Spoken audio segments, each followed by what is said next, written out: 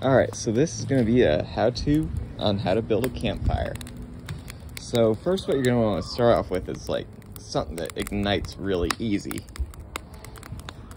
But we'll get to ignition later. First you need to gather all the needed materials. This kind of birch bark is really great for ignition. This, this stuff's kind of wet.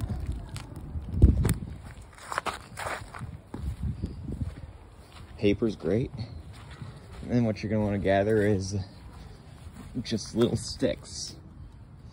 From little stuff like this to stuff that's about the width of my thumb.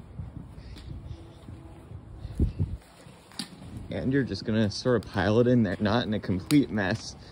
Try and pile it in in a log cabin format.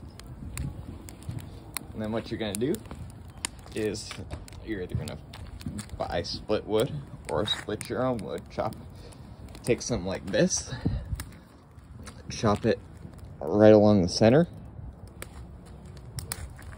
right along there, and then split it. And if at all possible, you want to have dried wood.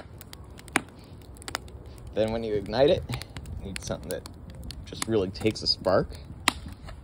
I found dryer lint works great. And you produce it passively, so even better. Put it in. So then you put that in the center, you put all those little sticks around the dryer lint. And then on top of those little sticks, you put some sort of like what I got going here.